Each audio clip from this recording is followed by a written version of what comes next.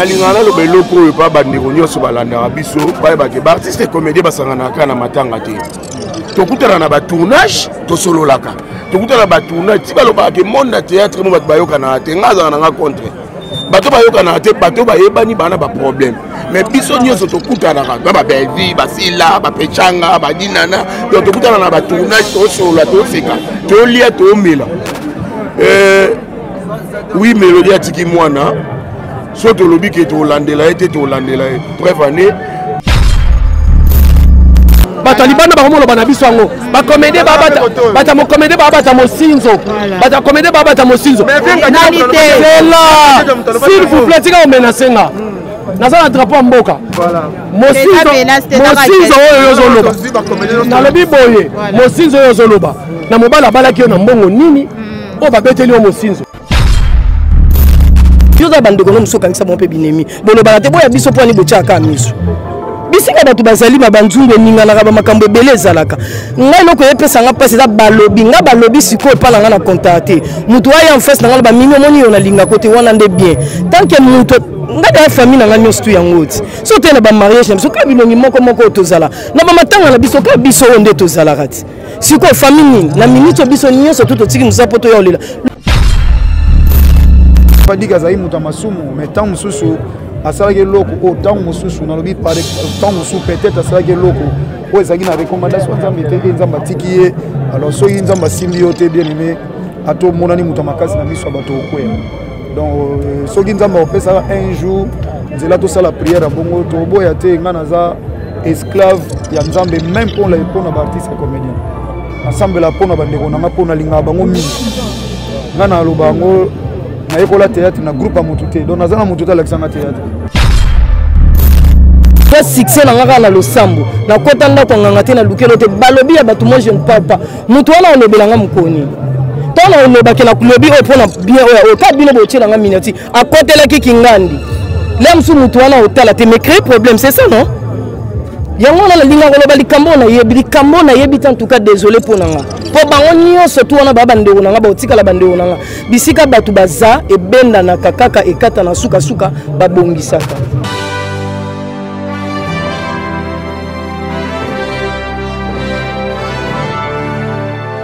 atiki makambo na ye nyonso tu aye bolongolaka ekivo ke tolinganaka te tosala meme na bafamille oza bandeko no mosusu okangisa bango mpe binemi bolobaka te boya biso mpo ani botyaka miso bisika bato bazali ma banzungu eninganaka bamakambo ebele ezalaka ngai eloko epesa nga mpasi eza balobi nga balobi sikoyo epa na nga na kontaa te moto aya en face na nga na bamimi omoni yo nalingako te wana nde bien tant ke moto nga deya famille na nga nyonso tu yango ti so te na bamariage na biso kaka bilongi moko moko oyo tozala na bamatanga na biso kaka biso oyo nde tozalaka ti sikoyo fami nini na miniti oyo biso nyonso tu totiki mosala mpo toya olela lobi tolala wana malili bino bozala ete bino boyaka kaka bavide est ce que bino bozala elobi mais lelo bino oyo boye mpo boyebi ke kingani akoya na kotya miniature kingani akoya bawelelaki boye baswanaki boye babundaki boye bino baluki mambu bino ti botikelaka biso baminiature ya bien yosunga biso ba conflit ebele koti entre biso eza kaka ba miniature na bino botiaka mimi afingaki kingandi contenu na kati atali te kaka titre wana ecreye nungunu bosunga biso bino mpe bakornifuati na biso bakornikese na biso banani bosungaka biso boku bosemele biso batrouble eza bino olobi question ni balobeli oke tolinganaka te mais siko ngai ona ye ti non en fait chronifuati ezali silogan ezalaka siloga ezala nango problème te bato bakokende yango mabe seke oyo oh, moto atanga okomprend kaka ya bakateli biso ezalaka mpe fier konifuati ntina sisi azona na problème addiction tosuka ndeni oui mama e eh, encore parent mpesi naloba bokopanza nga mongongo lelo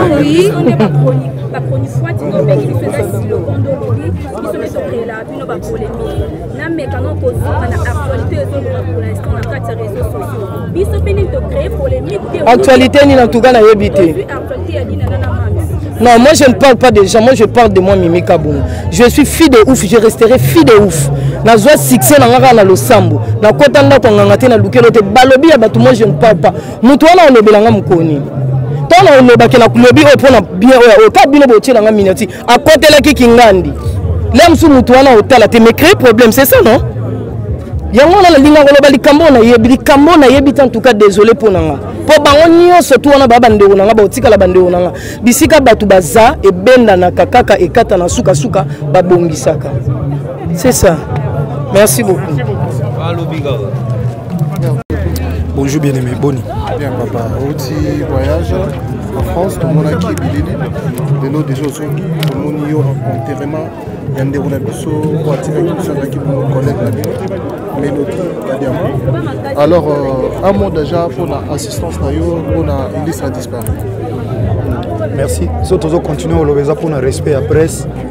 ko respecter bino parce que eza mosala na bino mais je crois euh, na matanga nyonso ngai na rappela eloko moko même na église na culte na rappela bato ke tokokufa euh, mais bino boza awa meme ngai ndeko na bino mokolo moko tokokufa donc euh, bacirconstance ya matanga boye bible eseyebisa biso na ecclésia chapitre 7 du premier jusqu'au deuxième verset une bonne réputation vaut mieux qu'un bon fin et le jour de la mort que le jour de la naissance mieux vaut aller dans une maison de deuil que dans une maison de festin car cela est la fin de tout homme et celui qui vit prend la chose à cœur na bafete tobinaka tobosana tokufa tobosana lola eza lifelo mpe eza or na place ya matanga fo torealise que eza na bato bakufi baleki mpe biso eh, baleki biso voilà donc esengi na biso tomilengelaka toyeba ke liwa ekokoya nango mais après liwa esambiseli oyo ekozala tokende na ngambo ya mobali ya loboko mobali là où il n'y a pas graissement des dents ni euh, moto éternel donc voilà c'est un peu ça donc euh, toteyama kaka biso nyonso na bacomédien na bainvite na bato baye matanga na bato nyonso toteyama que euh, papa Baba ndeko preso respecter ba mwa moke ba osa musana ba nde bien bosa. Voilà, merci. Ça va, merci. Pasteur, eh, eloko moko osalaka osalisaka bacomédien tout ya rdc baoyo bayaka bayaka mais baoyo bayaki te tomoni sor nango mpe ya solo mpena oza moto na nzambe estce eloko wana okoki obandela yango lisusu te oyo tozomona bacomédien bazokufa ebele te eh, bible ezoloba ils étaient poussés par l'esprit que les hommes ont parlé de la part du seigneur so nzambe atindi olosala eloko eh, baretour nango protection ezala te eh, parce que tomona yango kaka ke tosali activité ya prière esili mais derrière do na biso baorganisateur nango oyo nzambe atindaki bitumba econtinuaki bato moko balingi basala motu moko mabe yo oza membre ya famille te oke kota likambo wana alors baretour eyaki mais lokola ezalaki recommandation ya nzambe ye moko atikalaki protecteur mpo abatela alors soki tolobi tosala su mosusu mpo na sentiment to mpo na plaisir moko boye to mpo tosepelaki eh, ekosalama nango mais retour ntango eya protecteur akozala te mpo atindaki yo te eh, nzambe so atindi yo ye moko azwa protection nao mpe charge ya nyonso mais so atindi yo te soki esali eloko baretour etombe likolo na yo moko eh, nayebi mposo toyaki na morgue awa kaka cinquantenaire na matanga kaka artiste moko balaki biso mosala nzambe moko bakotika corne aosala délivrance et du coup akwei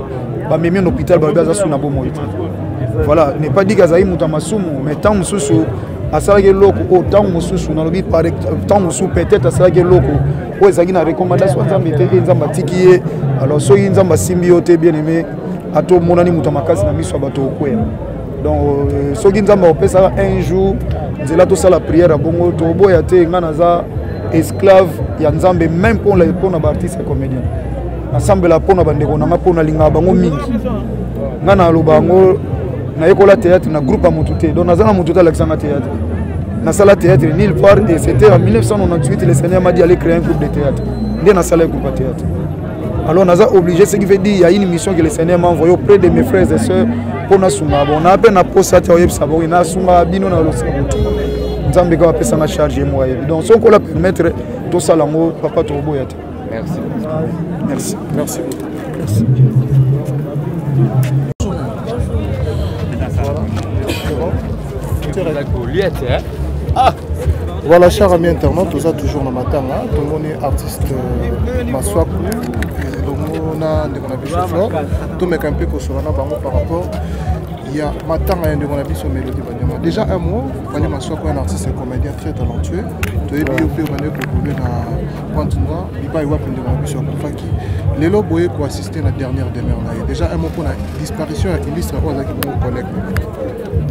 Vraiment ça fait mal ko perdre ndeko na biso et mes condoléances na famille biologie et famille artistique oyo lelo tozalaki moko na biso ndeko na biso et surtout nga so nake point noir tozalaka na ye bien aya moko mpo afongo lelo mpe bacoa swa kule eyaka boye moto moko aza awa mpe alingako makasi oye mpe boye ozwi mpe mwa lare mpeye mpe mwa baketch mwa banini tototo donc euh, azali deya moto moko motema monene motema malamu azalaka na problème na moto te nayebi te mais mélodie mpo ozwa ye problème ezali vraiment mpasi déjà alobaka trop te donc euh, lelo toperdre ye mais ngai eloko naosepela parce que tolele awa eh, bamama na biso flore bangu batelemaki lokola basi babi ndeko na biso tokotika ye kuna te na pointe noire parce que kuna alinga ozala néglige par rapport ya valeur biso toyebi ye nango awa kuna aza na ye na valeur mais sauf que kuna eza baza na mwa mwa ndenge na bango bavivaka donc ngo azalaka matanga mo normal baye boye neti bainterview boye ngo azalaka ata mosusu ya moko moko bafane oyo balingaka melodi ta mosusu balingai baya te baoyo balingai baya ya kuna donc matanga elingi oyaka mpo babimisi wana koti mbamo corbillard cimetière moni mais bamama na biso batelemaki mpena badeside babi non il faut corps ya melodie eya kaka ndenge biso nyonso tozwaki likanisi ke tolela ye awa corps mpe ye donc euh, lelo eza enterrement mpasi eza et surtout na mwana na biso ya moke oyo melodi atiki donc euh, biso oza lokola bapapa bamama na ye donc apart bandeko na ye kobomba mwana euh, biso mpe fo tobwakaka mwa lisu bamama baza wana je, je crois ndeka organisation mpona makambo ya diane ezalaki ndenge mpe kote oyo ba mama mpe batelemi donc euh, j'espère moi na biso ozala bien na ngolu ya nzambe donc euh, courage na bato nyonso oyo balandaka biso et puis mes condoléances na bato tout oyo balingaka mélodie na biso moko mpe voilà merci beaucoup merci beaucoup à ce qui concerne l'organisation tomeka mpe kosolana mama na biso flore bonjour bonjour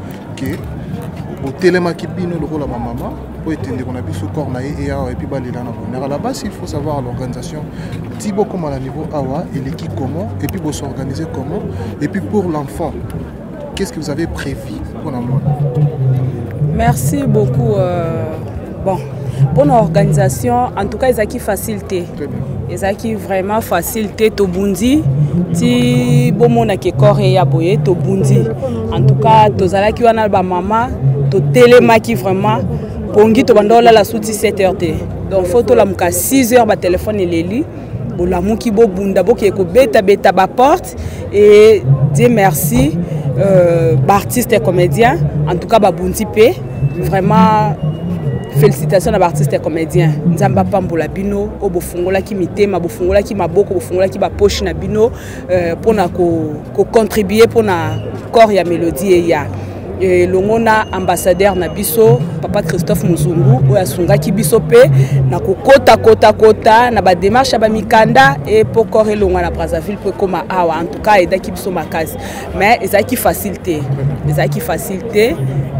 bon tobundi euh, bino mo bomoni corps eye nzambe merci euh, concernant mwana bon jusque là nano tosali organisation moko te tozozela nano makambo eleka so tokundi ndeko na biso mélodie e wana tokosokipe na mwana parce que bato bakoloba c'est le moment ya kobelela mbela mpo na mwana parce que mingi mingi ezalaka soki matanga eleki mwana kotikala na basituation moko boye euh, désagréable yango bato bakolela to mpe bato bakobelela de façon ke bozwa solution to bozwa idée moko oyo ekozala concret pour le reste ezali ezali vraiment mpo na suite ya mwana ide ezali euh, tozozela tokunda je crois ezalaka bongo mais biso baoyo tozoya nsima na asi bomonaki na makambo ya diana diana akufaki tokundi par après bato batelemaki bamama batelemaki mpo na kokende kotala bana e de meme na biso ekozala ndenge moko nzambe asunga biso apesa biso makasi apesa biso kaka pema après ba enterrement oyo tokosala organisation moko mpona koluka kotala mwana merci beaucoup merci actrice parmi ba, ba grande actrice ya mboka na biso na nkombo ya naomi bolela mbote mbote papa na boni sante sante eza bien nzambe abatela toomona bino baartiste boyeka konde na moi na butule bozalaki te en fait esalemi na semaine bato mosusu bazali na batournage bamosusu bautaki mpe bamisala bazongi baza fatigue donc mais jour ya dernier demeure on s'est dit de tout arrêter pour venir le euh, souvenir na malamu otikali nango melodi asala yo koma etikala nayebi ye personnellement te ce qui est vrai nayebi ye à travers la télé je l'ai apprécié comme ça je l'ai apprécié à sa juste valeur en tout cas souvenir ya malonga eza que aza actrice moko amarke époque na botikalaka ata kokutana te ata na filme moko boye melodie alongwe scène ngai na ye scène melodie esi alongwa comprenez donc ngai soki na oya devant melodie je dirais que naza même koko donc euh, je sais pas dire qu'on a partagé on n'a jamais partagé la séance relation nini boza nango sikoyo entre euh, bino baartiste na famille parce que tomonaka soki apesa fufi mwa badebe ezala ko mbongo eliami mbongo esame tomoni na matanga mbeleti onge kimia nde likambo mapesa te Euh, on dit merci à l'organisation de gens. Et puis ce qui est vrai, relation ne peut être que bien. Parce que collaboration de deux parties, ceux qui Koto Baza ouvert, Koto Baza ouvert, pourquoi vous en avez cœur Ok, merci maman, on melodi atika théâtre te melodi azali na point oyo azali na groupe na ye melodi na point abandaki nanu pa président du 15 au 15 atika théâtre te atika théâtre nde yene atikaki théâtre te abelaki nde ayebaki kaka akobika na ye yo so ozobela est ce que oyebaki kokufa te ayebaki akobika na ye nde esala eke pema melodi azalaki moto oyo likambo na ye akokaka kopartage yango te soki azali na ye ata alobi a ah, ndeko bengelanga ata motu boye mpo a ah, naokoka te ti ekomai na niveau ke oye na pwani oyo ezala otelemi ozwi taxi mai ekomai na niveau bazwa bis tara ndeko mwasi nde akomai na niveau donc nzambe azwaka lokumu na nyonso tosali mpo na mwana melodi azali na bafane ebele niko shega ye mamna oloba azali na bafane ebele e moko mpe akomaki na tournage boye akomobwaka bwaka omona niko shega ese yango akomobwaka mingi lokola josé de londres boye ndeni tellement akomeli na bafanatike ebele aza na choix te alinga kotisa bwa 10 10 na tableau moko moko moko donc bafane nyonso ya melodi mpoi abandaki kobwaka bino bosepelaki bobosana te bosala samblate atiki mwana ya mwasi ifo atanga ifo alia azala bie bino moko boyebi bafamille na biso tozala na biso na bapdg te na bafamille na biso bino nde bafane na biso nde bokoma nde bapdg na biso babos na biso bosoutenir mwana ya melodie donc mawa mosusu moyen koloba na tv eza te mais bosoutenir botika te bohésite te mwana tanga bien alia bien ekozala mpenza bien bongo ya monene tosali ya moke tokoka ndeni minerva bafutaka ndamdamu ah oui merci mpo nazonga nsima moke ya mibale oui esalemaka deja epa baartiste comédien makambo na biso majorité tosala yango biso tozwa lisungi ya mama ya bamama soki eye bravo tobandaka yango nano biso moko ya misato mpo na melodie wi biso ntango mbwa amelaka mai na monoko ya mboka na biso balobaka kiaku kiaku kiangani kiangani soki nalobi ke tokozwa so ya mona melodie ntina suka nakosi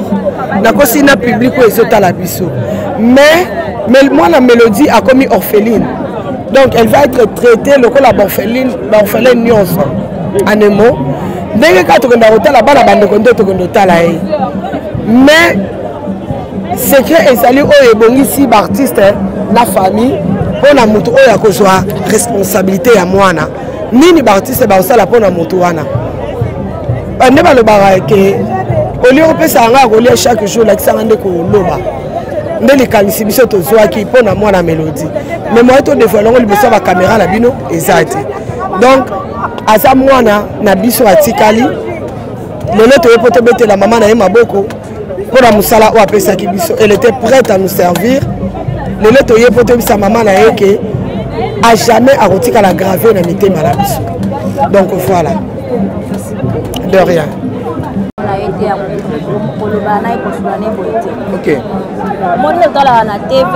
wana juge boye tate pota mosusu role tolata nde barole bapersonnage oyo bapesi olata wana meta mosu eza yo te na ojuge ye boye te parceke nayebi ye vraimen te eh, mama na biso efoko lelo oyo toyoki na, na réunion na bagroupe par rapport ya organisation ya matanga totali bamatanga eleka ebele ebele mais matanga ya mama na biso nicole melodie ezalaki vraiment normal epuis bato tuna organisation balaki vraiment calme par rapport ya kotala bamatanga tout eleka pourkoi likanisi oyo ezwamaka banda kala te ezwimi kaka blaire melodi akufa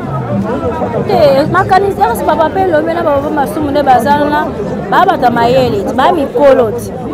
ezalaka nango depuis kala antpc ezalaka nango depuis kala edepanda mpe ta mosusu na famille nini oyo biologique ya moto akufeli ndeni bakoyambela bino omoni ta mosusu neti famille ya melodi ezalaki famille eza famille moko déjà boye laya baba papa masumu tokendaki mpo na makambo ya kosolola balobaki ke toza wana tozala motu moko mpo na biso nyonso mhm. deja edepana mpe na fami ta mosusu mosusu elingi boye te elingi boye tauta mosusu omona ma makelele eboti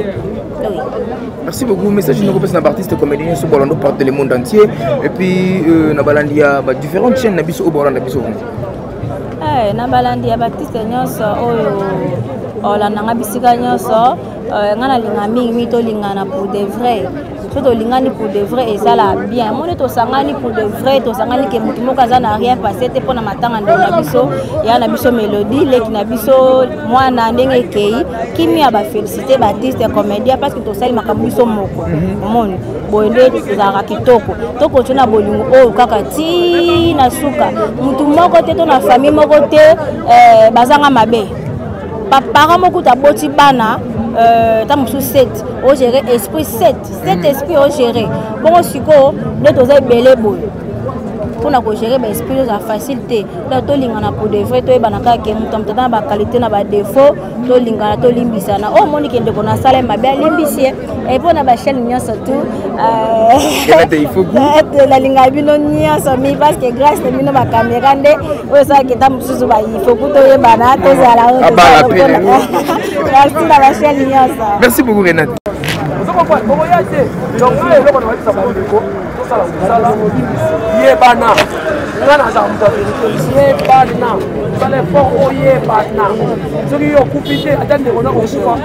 kokanga baninga mitema mabe to baye matanga na ngai te voilà kozala na ampleur question de c7 matanga ya melodi impact idéologie comprendre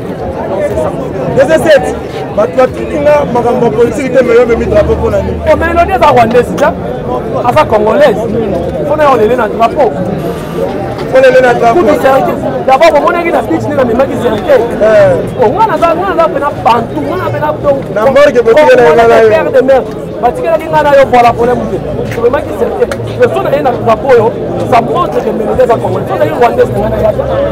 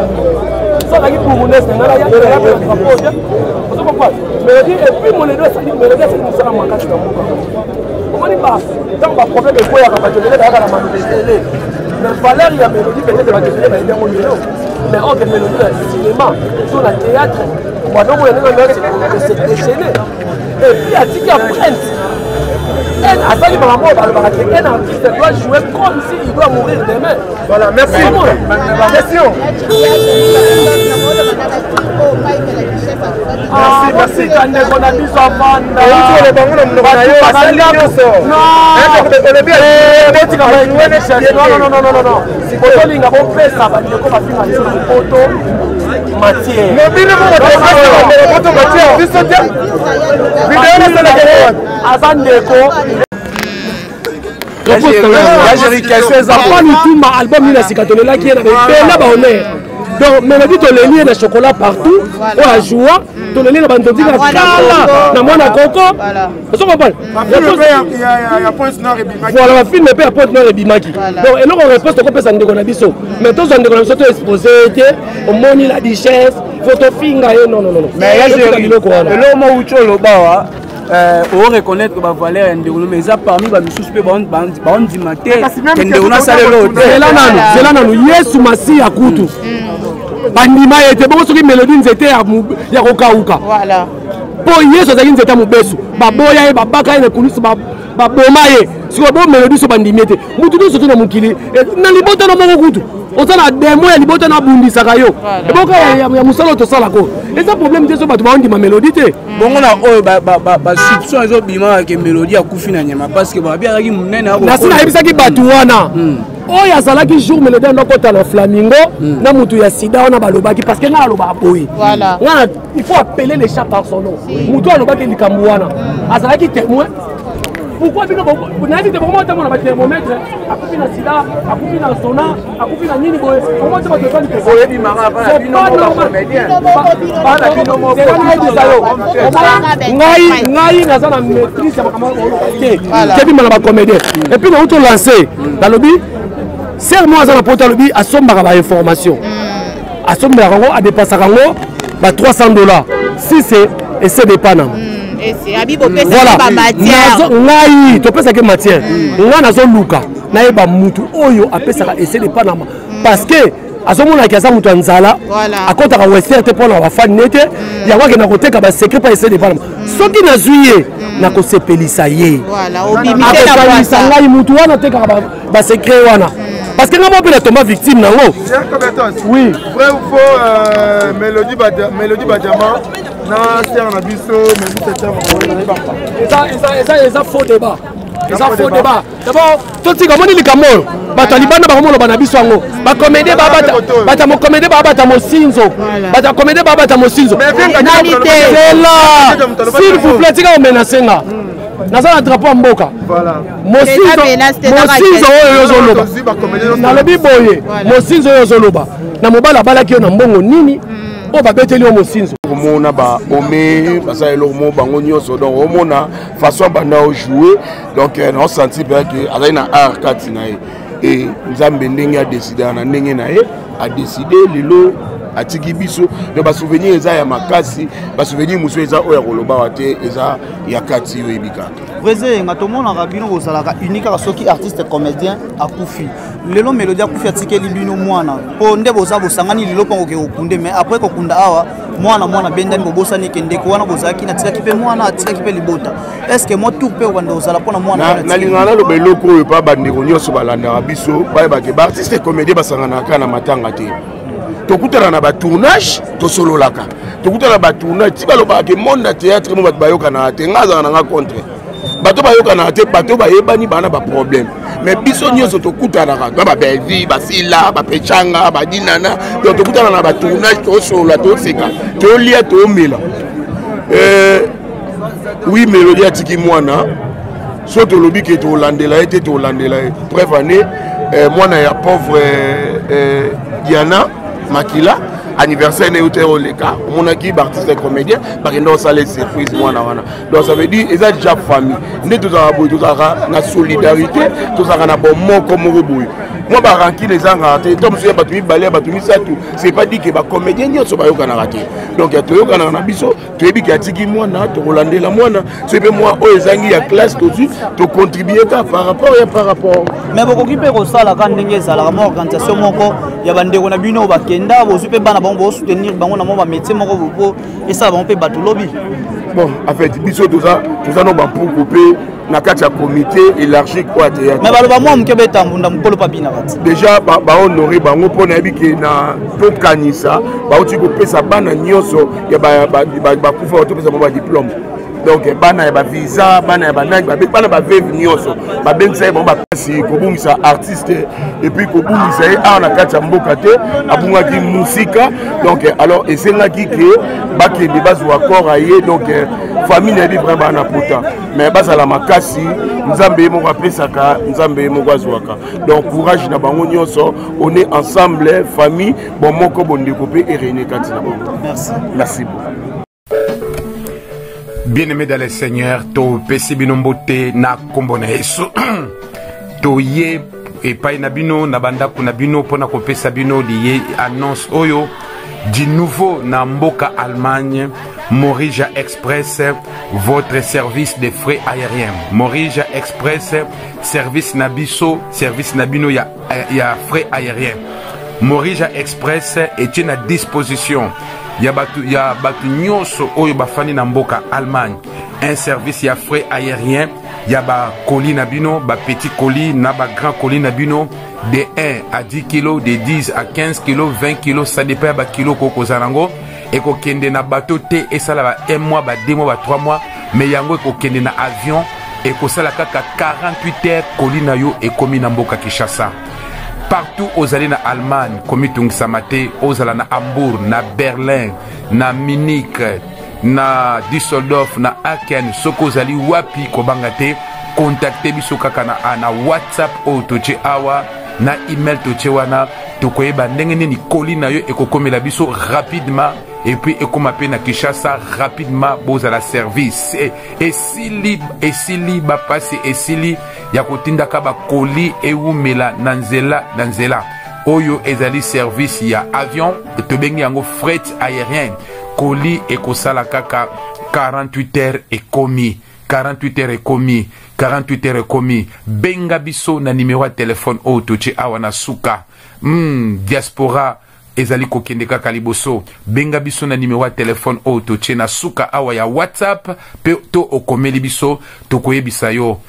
nini okosala ozala oza na munich na berlin na mbour partout esika ozali kobanga te contacte biso tokoyeba ndenge nini koli ekokomela biso epuis 48 heures après kolino bandeko bakozwa kinshasa nzambe apambola soki mpe ozali na bakoli na yo euta kinshasa batindela yo mwa biloko na kinshasa eya na allemagne kobanga te kontakte biso na nimero oyo totie na suka awa nzambe apambola bino solution yango wana ezali morija